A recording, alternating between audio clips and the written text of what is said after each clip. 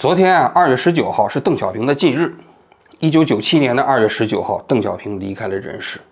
其实这个日子距离香港回归啊，就只剩下了不到五个月的时间。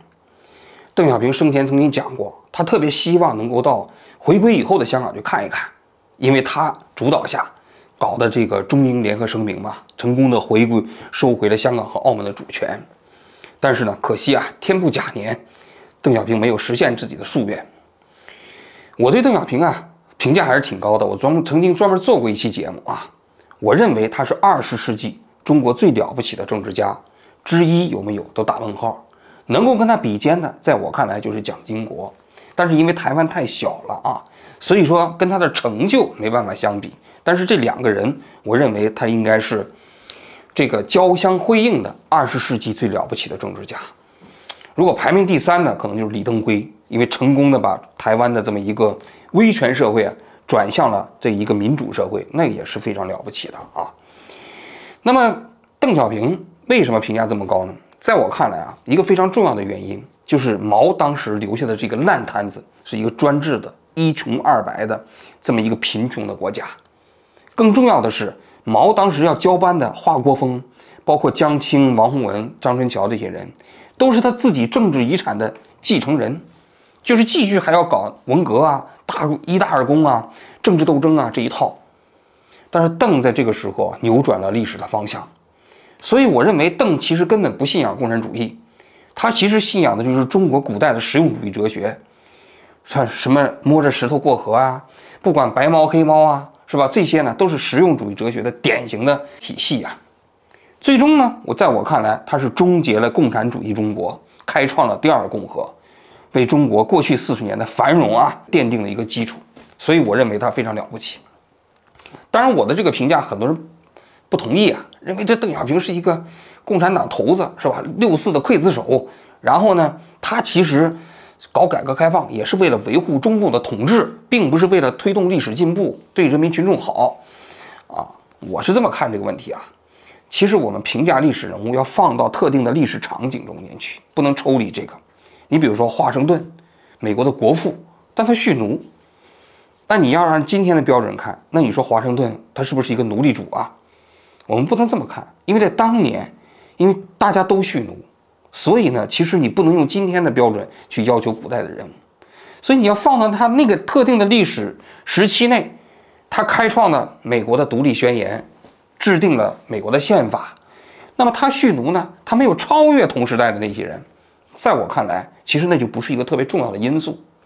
而对于邓小平也是一样，他其实搞改革开放，他是不是为了所谓的延续共产党统治，在我看来根本不重要。那就像唐太宗，他开创了这个贞观之治，你说他是为了维护李家王朝，还是自己的权利，在我看来都不重要。他重要的是创造了璀璨的大唐文化。嗯，那个时代修身养息的老百姓生活也比较好。那他就算是一个明君，所以我觉得不能抽离特定的历史场景去评价政治人物啊。所以在我看来呢，邓小平确实是一个挺了不起的政治家啊。但是当时我做那期节目的时候呢，我也讲过，我评价完邓小平，我也要讲讲老毛。但老毛这个人说实在的不太好讲啊。然后呢，这个一一放就是几个月。今天就着邓小平的忌日啊，我来讲一讲我心目中的老毛，我怎么评价这个人。首先啊，这个第一点就是老毛是不是一个马克思主义者呢？是不是一个共产主义的信徒呢？这一点表面上看好像似乎没有疑义啊，因为共产党对他的评价就是伟大的马克思主义者，什么导师什么之类的，对不对？战无不胜的毛泽东思想等等吧。那在我看来，这其实这个问题是非常存疑的。我认为其实老毛本质上也不是一个马克思主义者，更不是共产主义的信徒。为什么这么讲啊？首先啊，这个马克思主义还是一套理论比较精精密的这么一个哲学体系，科学社会主义啊、辩证唯物主义和历史唯物主义这几大体系啊，说实在的，没有经过系统的训练，你还真就不太好理解。别说理解了，你读都不一定能读得懂啊。在马克思主义早期传入中国的时候，说实在的，传入的都是一些概念。并没有非常严密的理论体系，所以早期的像陈独秀、李大钊这些人啊，因为他是学者，还算是读了一些。但是到下面这些人，因为毛当时刚参加这个共产主义运动的时候，他也比较年轻嘛。其实那个时候，一方面中国也没有这些马马恩列斯的原著，另外一方面啊，其实那些小册子错误也比较多，也读起来比较晦涩。所以老毛实际上这些人呢，对马克思主义啊，对共产主义的理解是非常肤浅的。大家可以看一下老毛早期的成名作，叫做《湖南农民运动考察报告》。一九二七年，共产党员和国民党员双料党员，这个毛泽东回到湖南去考察农民运动，考察了三十二天，到了武汉，花了四天的时间写了这个《湖南农民运动考察报告》。这个报告后来在老毛登基之后啊，评价很高。建国之后啊，那就当做当做老毛早期的那闪光的著作啊。但是啊，说实在的，你把那个湖南农民运动考察报告你拿来你读一下啊，我觉得理论素养极低。就我自己看，为什么？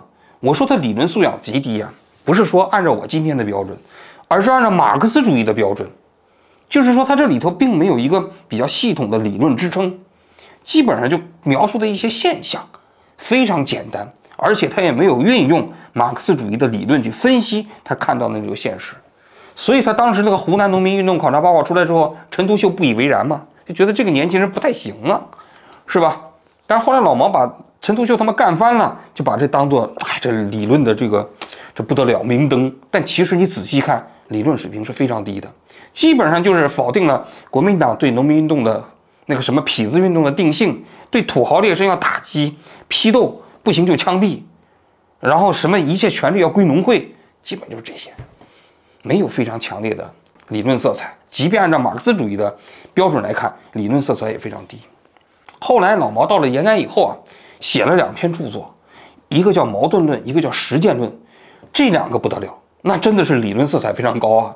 后来那个苏联的机关报啊，专门翻译过来去学习马克思啊，不是马克思，斯大林见着毛泽东的时候还说过：“哎呀，你这个《矛盾论》我读过，很了不起啊。”但是我跟你讲，这矛盾论和实践论，搞过党史的人都知道，不是老毛自己写的，应该是是老毛的政治秘书写的。陈伯达、胡乔木啊、李瑞这些人都是老毛的政治秘书。这政治秘书干什么的呢？就是替老毛写一些理论素养比较高的文章，给老毛树碑立传嘛。所以老毛的是矛盾论、实践论，不是自己亲笔写的，他没能力写这个东西。建国以后的那些理论色彩比较。高的文章，包括像《论十大关系》，都不是他自己亲自写的。老毛，你看一下他自己的写的文章，第一都非常短，他写不了长文；第二呢，文章基本上都是大白话，像愚公移山他可以写，知道吧？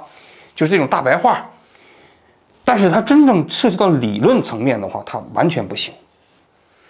那么你再看老毛的治国理念啊，建国以后啊，他基本上是来源于中国的传统的历史遗产。老毛的。那个床头平时是不看马恩列斯的原著的，他干什么？他看《二十四史》，看《资治通鉴》，看《水浒传》，看《三国》。那老毛在当时的那个共产党的官员里头算是有文化的，所以他动不动暗示那些政治权力的时候，给人批示的时候就批让人去看《二十四史》的哪一篇，看这个《三国志》里的郭家传。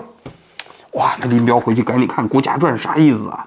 字里行间是不是动不动要搞这个运动，说批这个《水浒》里面的？这个宋江说这个皮投降主义，你就看一下老毛整个的这一套人生哲学、治国理念，没什么跟马克思主义没什么关系。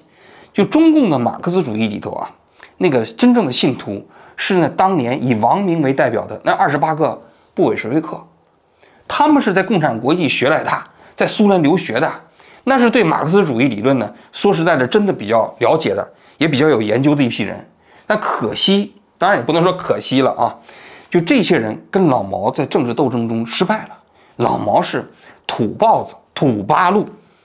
其实斯大林他们当时对老毛不以为然，也就认为老毛这些人实际上根本不懂马克思主义，他们搞的这一套，其实跟他们认为的这个共产主国际这一套也不一致。所以在相当长的时间内，共产国际跟中共关系是不好的，就是因为老毛把王明这一派人都给排挤走了。这帮土包子掌握了中共的权力，而土包子根本不懂马克思主义，所以在我看来，老毛确确实实呢，他本身呢，他不懂马克思主义的理论。那么有人说了，他建国以后搞那大跃进呐，什么人民公社呢，那不都是共产主义吗？其实，在我看来，并不是。就是这个大跃进呢，人民公社啊，其实你去供那个马克思主义的理论体系里去找，其实非常牵强。苏小康曾经写过一篇文章，叫《乌托邦记》，就是讲当年大跃进的历史，在庐山会议里的权力斗争。这篇文章写的挺好的，啊一本书啊，不是文章啊。他讲的老毛当时是怎么跑步进入共产主义。但是你去看一下这个乌托邦，我觉得说的非常准确。但是这个乌托邦到底是共产主义那个乌托邦，还是中国传统儒家思想构建的那个乌托邦呢？如果你仔细看一下，我个人觉得啊，其实中国儒家传统的那个那个色彩还挺浓的，至少它是跟共产主义形成了一种嫁接。所以老毛的那个身上的影子啊，有很强的，就中国历史上那些所谓的空想的乌托邦色彩的东西，它跟这个这个共产主义的那个理理念结合在一起，不太成熟的理念结合，就形成了当时那种疯狂的政治运动。所以当年苏联对中国搞人民公社、搞大跃进是非常不以为然的。赫鲁晓夫认为这不是共产主义，这也不是社会主义，这是瞎胡闹。所以中苏之间的分裂，就是因为很重要的一个原因是中国搞人民公社，其实中苏之间对这个是不认可的。大家可以比较一下啊，苏联和东欧这些国家，共产党国家，他们呢在政治清洗的时候是非常残酷的，打击政治对手啊。经常开完会，下午拉出去就枪毙了。但是在经济上，他从来没有搞过中国的这么这一种疯狂的大跃进，这种自毁性质的、反制性质的这么所谓的社会运动。这沈志华曾经讲过，说老毛是一个诗人，他比较浪漫啊。在我看来，不是浪漫，他是真不懂马克思主义。如果你要真懂马克思主义的话，你在经济上也不会搞得这么反制。你想，你把你想把那个自己的锅砸了去炼钢铁，然后炼完钢铁之后再造锅，就这么反制的运动啊，其实，在马克思的理论体系里头也是不存在的。所以老毛的这一套，在我看来，它其实是中国古代的那种带有空想式的反制的那样一种什么所谓的文人的理想吧，嫁接了共产主义，形成了他这种所谓的那个治国理念。所以他不是马克思主义者。这是一点非常重要的理论啊。那他既然不是马克思主义者，他是什么？我觉得很简单，他就是封建帝王，一个不折不扣的封建帝王。一九四九年年初啊，中共中央从西柏坡搬到了北京，一开始住在了香山的双清别墅。后来北京解放以后呢，就需要确定未来的中共中央在哪办公。当时有两种意见，一种意见其实就是在北京城外另辟一个地点。设立中共中央办公区，另外一个呢就是入驻中南海，但是老毛当时呢就力主入驻中南海。那中南海是什么地方啊？那是过去啊皇家别墅，所以彭德怀当时啊看到中央住在中南海的时候就非常不高兴，他认为那是封建帝王住的地方，你中共中央住在那个地方说明什么呀？那老毛为什么想要住在那里头呢？在我看来啊，他其实就是帝王思想作祟。他就认为自己就是封建帝王，所以他就应该住在紫禁城旁边。虽然这只是一个非常小的细节啊，我说他是个封建帝王啊，你可以看一下他整个的行为方式。首先是他拥有着中国古代封建帝王般的绝对的权利，在中国共产党内部，也包括整个这个国家体系，不存在对老毛任何权利的约束。其实那些共产党的那些高级干部跟老毛啊。在一起啊，其实就是君臣关系。当时那个罗瑞卿，最刚建国的时期时候，有很长一段时间内，他是老毛的近臣。他自己就讲，每天二十四小时必须盯着，最后都神经衰弱了。因为老毛平时的那个作息时间呢，跟别人是颠倒的。他晚上他他起来，然后呢，他白天他睡觉。那么其他所有的人的工作节奏都必须按照老毛的这个工作节奏来。而且那个高度紧张，那边有一个电话过来，刚躺到床上要睡觉了，睡觉了，赶紧就起来要奔着中南海去，没有任何人可以左右毛泽东的行为，甚至在往年的时候，他连他政治局常委会他也不开，是吧？都是开完之后，政治局里头那些人开完之后给他去汇报，然后他写个条子批示一下，然后政治局常委就是按照他的意思去办了，这哪是共产党的那样一种关系呢？那是君和臣之间的关系，对吧？还有他的生活方式，吃穿住行。你看一下，吃，我过去曾经讲过，全国范围内给他选湖南的厨子，他的那些厨师是二十四小时也是待命的。老毛醒了之后，半小时之内要开饭，然后他一天吃两顿饭，然后隔八个小时再吃一顿。那么这些人都是北京饭店的御用的厨子，一个一个厨师班定期轮换给老毛来做他符合他口味的那些那些饭菜。那当年他说什么三年自然灾害时期不吃肉，那都是胡说八道的。他自己是过着花天酒地般的生活，是吧？住他住在了封建帝王曾经住过的中南海。行，他出行呢，他早期坐过一次飞机，后来那飞机颠簸了一下，结果把那个。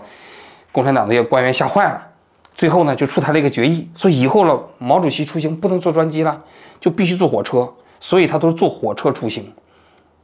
但是老毛坐专车出行，他一出行，全国的铁路运行表就被打乱了。他走着走着，他要休息，他要睡觉，这专列就得停，因为他要是专列要开着，他睡不着觉。但他的火车一睡觉一停，全国的那些所有的线路就全都停了。你想想，这不就是封建帝王吗？跟古代的封建帝王出行有什么区别啊？还有他搞女人，大家都知道了，是吧？他刚进入北京城之后，专门成立了一个八三四幺文工团，其实就是一个叶子龙，专门给老毛搞年轻的女孩子，进到中南海里头陪这些人跳舞，陪其他的领导人嘛，也就是跳一跳。但是在那春藕斋改造成了一个舞厅，春藕斋的旁边有个小房子。这小房子，老毛过来跳舞的时候呢，就看这些女孩子，十七八的、十六七的女孩子跳着跳着，他觉得哪个女孩子不错，他就把这老女孩子就跳到旁边那房间里头去了。有一次啊，就侯宝林当年说相声呢，建国以后啊，就把他们叫到中南海里头去讲相声。讲完相声，有一次呢，就把他留在了中南海里头参加那个春藕斋的舞会。这侯宝林呢不会跳舞，然后他又不好意思先走。又很累，当时呢，他看旁边有一个小房子，他想进到那小房子里休息一会儿，他就进去了。他刚到那个地方躺下，就是有一个人，好像是叶子龙，慌慌张张的进来，就把他拉着就走。说：“你这地方你知道是干什么的吗？这是毛主席休息的地方，是吧？”可把那个那个侯宝林吓坏了。你想一想，那如果他刚躺在床上的时候，老毛要带一个女孩子进来，是吧？在在那床上宽衣解带，要是看见侯宝林在旁边，那侯宝林肯定是杀头之祸，对吧？所以你看老毛这个人，他所有的那些女孩子，是吧？莺歌燕舞，他享受了古代的封建帝王那样的生活。他那个那个孟景云写过的那个回忆录，你可以去讲到晚年的时候，周恩来呀、江青啊这些人呢，想要见一次老毛都非常困难，包括华国锋，对吧？但是。你看他最后他生命的一两年的时间里头，在他自己的卧房里头，基本上是莺歌燕舞。就那些年轻的女孩子，十七八的，他们在中南海呢打声招呼，就可以带自己的同学进去，然后在老毛的卧房里头跟老毛谈笑风生聊天儿。啊，这就是老毛过的生活啊，是吧？所以你看老毛他生活方式上跟古代的封建帝王是没有任何区别的，但是在我看来，他是中国历史上。权力最大的一个封建帝王，为什么？因为中国古代的封建帝王啊，他只拥有君权神授的这样一种权利。但是老毛除了拥有一个不受约束的专制的权利以外，他还有一个中共的意识形态所形成的以个人崇拜为核心形成的这么一种权势。所以他可以在天安门城楼上搞接见红卫兵啊。所以那些人跟他握了一个手之后，三个月之内他可以不睡不洗手啊，对吧？这个你是古代的封建帝王是没有办法享受的这样一种权势，他的那个相好谢静怡，是不是？谢静怡这个也是老毛的情情妇之一的，她的老公那跟谢静怡一起跟毛泽东一起合影，她老公实际上觉得还挺光荣的。你想想，古代的封建帝王也不敢这么搞啊，但是老毛他就可以做到这一点，所以他不但是封建帝王，还是历史上这样一种权力最大的封建帝王。所以老毛为什么能成功呢？在我看来，他既不是因为他马克思主义造诣高，也不是因为他是军事家、思想家，最重要的就是他的驭人之术，在共产党的那个体系中间呀，他高人一等。老毛这个人呢，他这辈子成功啊，我个人觉得有三次重大的机会转折。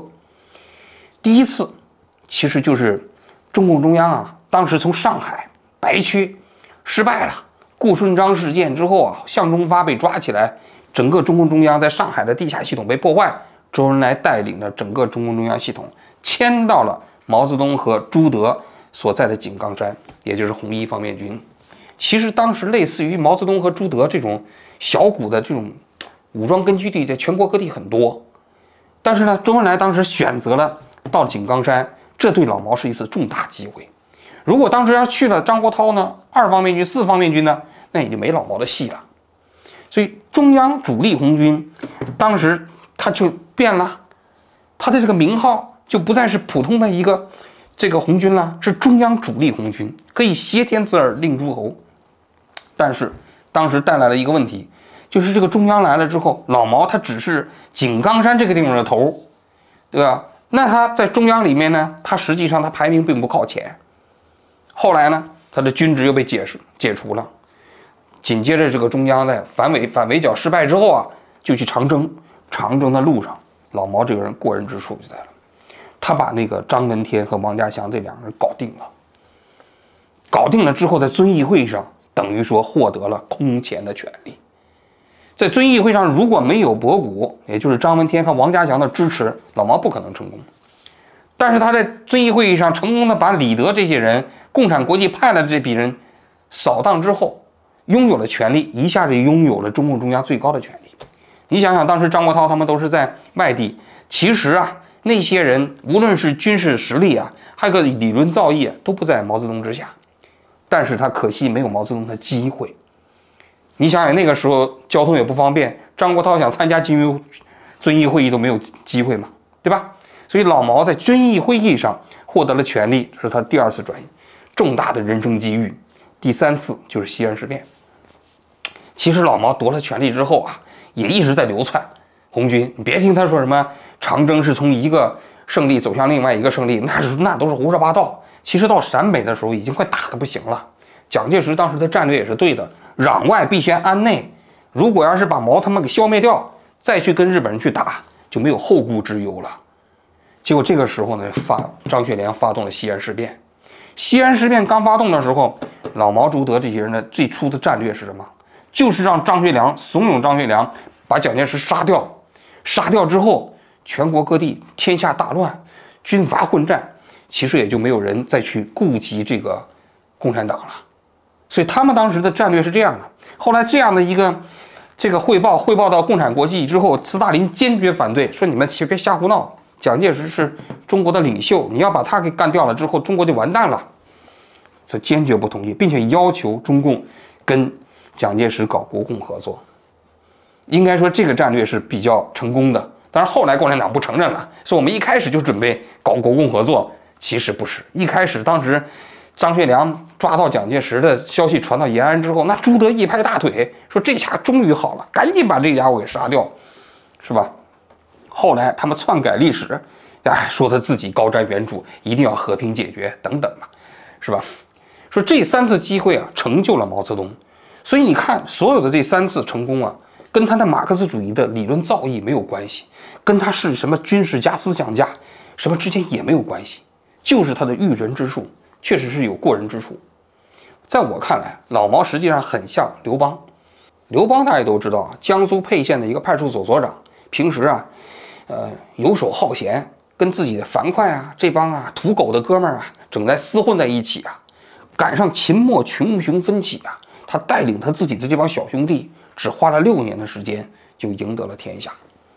大家都要知道啊，周文王分封天下之后啊，有八百年的时间。中国都是贵族统治中国，但是刘邦这帮穷哥们儿啊，就从沛县起兵，最后进驻了长安，在长安建立了汉朝的军工集团。为什么说老毛很像刘邦？其实刘邦的军事才能并不是特别强，他跟项羽不但没法比，他跟韩信都没法比。但是呢，他这个驭人之术特别强，他能够让韩信呢、萧何啊、张良啊死心塌地跟他干。然后呢，干成功，他看谁不顺眼还收拾谁，对吧？那韩信就是林彪啊，那萧何就是周恩来啊，所以你看呢，老毛实际上跟刘邦是非常像的，也会吟几首诗，还带有一些底层上来的那种痞气，有一些。如果要是把老毛放在古代的封建帝王序列里去评价，应该说他还算是不错，甚至你可以把他称之为雄才大略。一把烂牌是吧？用二十多年的时间能够建立一个毛氏政权，当然在封建帝王里头建功伟业的里头是不错的。但是啊，情况不一样的是，老毛不是生活在刘邦所在的公元前的两二世纪，而是生活在公元后的二十世纪。公元后的二十世纪啊，人本主义思想崛起，全世界都在建立着宪政啊、民主啊、人权思想的这种这种高涨。人们对政治家的要求变了，是要求不再是你自己建功立业，而是看你是不是能够彰显基本的人权，为普通人的权利鼓与呼。所以啊，老毛实际上按照封建帝王算，他是还可以。但是如果按照二十世纪的政治家来看，他不及格，他就是个混世魔王，他就是一个封建帝王。所以二十世纪的中国之所以不幸，是碰到了一个老毛这样的生活在前现代时期的封建帝王。更不幸的是，他还成功了，他还用二十多年的时间取得了中国的政权，建立了毛家王朝。说实在的，他的儿子如果在朝鲜不被炸死，那他的毛家王朝可能就是朝鲜。可能还会继续做下去，但是由于他自己没有儿子，所以他的权力不得不交班。其实他，你看，跟古代的封建帝王一样，他到临死之前，他不愿意放弃权力。当然，也正因为如此了，他也没有解决好权力的这种更替。最终呢，邓小平这些人趁势而起，废掉了他的接班人。从此，毛泽东建立的他那一套封建帝王的体系也就土崩瓦解了。今天的中国共产党，我个人认为啊，没有人在认可老毛的那个时代了，那个做法了。现在虽然说老毛的遗体还摆在了毛主席纪念堂，他的画像还挂到了天安门城楼上，每隔十年中国共产党还要搞一次隆重的纪念仪式。但说句实话，这一切啊，都是为了证明自己的合法性。其实没有人内心里头真正认可老毛的那套做法。李泽厚啊，曾经写过一本书，那里头讲到他怎么评价毛泽东。他说，在二十世纪，不管你喜欢他还是讨厌他，你都没办法回避这个人，因为他在二十世纪的中国历史上打上了深深的烙印。我想啊，李泽厚肯定是不方便说，你就是个混世魔王，我们没办法逃脱而你而已，就是如此。其实啊，我对老毛的评价跟李泽厚差不多，只不过他说的隐晦一些，我说的呢。可以明确一些，他就是一个混世魔王式的封建帝，就是一个成功的洪秀全，就是一个成功的张献忠。